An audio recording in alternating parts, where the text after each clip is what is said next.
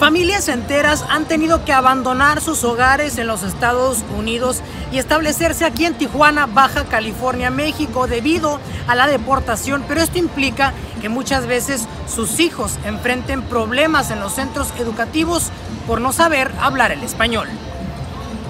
No, pues uno, mi morrillo, el más grande, llegaba bien enojado porque le daban, pues, este, ¿cómo le dicen? Carrilla y no, este, no, no comprendía algunas palabras lo que le decían. Entonces ya, ya le daba yo la, la interpretación de lo que quería decir en inglés y pues se molestaba y se, aparte de molestarse se, pues se sentía mal porque pues no podía defenderse básicamente. ¿no? César Rojas fue deportado tras años de vivir en Estados Unidos, sus hijos los que más sufrieron la expulsión.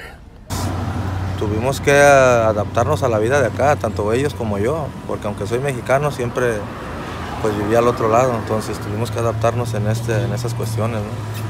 en todo, en la base, en la, cómo vivir, en el hablado, pues con la convivencia con la gente es más diferente en, en comparaciones a Estados Unidos. Como la familia Rojas, hay más de medio millón de niños nacidos en Estados Unidos que enfrentan un idioma y cultura diferente, según el Seminario Migración Internacional del Tecnológico de Monterrey. Muchos de ellos establecidos en la frontera. Pues más que nada era pues era otra cultura, otro estilo de vida, la transición pues de Estados Unidos a México. Alondra Álvarez es una joven estadounidense que forzosamente se trasladó a territorio mexicano tras la deportación de su padre. Pues hablar español y, y pues todo era muy diferente, pero más que nada era la dramática, la manera, o sea, como en Estados Unidos, el alfabeto hasta eso cambia, o sea, no hay una ñ en el alfabeto americano. Como consecuencia, en su vida surgieron retos demasiado complejos para una menor de edad de entender. Decían, ay, viene la gringa. Y se me complicaba mucho porque pues no hablaba bien el español, no sonaba bien pues las R's, o sea, tenía que hablar con un lápiz debajo de la lengua para pronunciar bien. Había muchas, muchas formas en que me enseñaron. Son niños, sí hay niños que hacen bullying, que se ríen porque el acento o porque tratan de entender y no entienden, pero hay niños que sí son empáticos. Una barrera lingüística y cultural.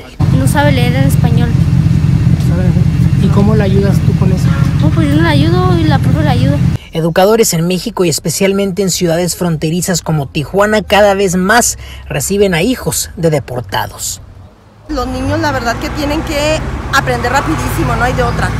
No hay de otra porque si los niños mientras no hablen el idioma ellos están sacando bajas calificaciones, les perjudica demasiado. Otros hijos batallaron porque pues el español no lo dominaban, era algo nomás básico, que es lo que, que quieres, cómo te llamas, lo básico, pero ya para interactuar con otros niños, pues era más difícil para ellos.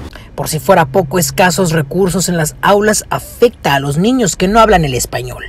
Pues fue algo duro, ¿no? Porque pues es otra vida, uno, uno pues nace uno acá, pero si uno para allá se acostumbra a, las, a la escultura y al, pues por así decirlo, a la buena vida. Ya cuando llega uno acá, el, el mundo es muy diferente. Eh, sí he visto que los baños no tienen, por ejemplo, en inglés, uh, ni la salida, ni los letreros, todo está en español. Familias que tenían muchos años en los Estados Unidos, eh, pues estén siendo expulsadas al eh, país después de 30, inclusive tengo casos eh, de personas que tenían más de 40 años en los Estados Unidos.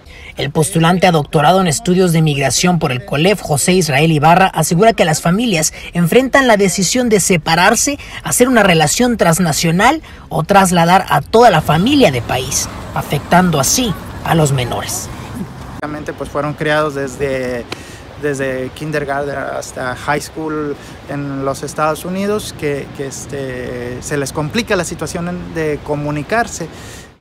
Como ya lo vimos, muchas personas pues realizan sus vidas en este lado de la frontera, esperando algún día quizá regresar de nuevo a los Estados Unidos, que únicamente se encuentra al otro lado de esta valla internacional. Desde Tijuana, soy Cris Cabezas, Mundo Hispánico.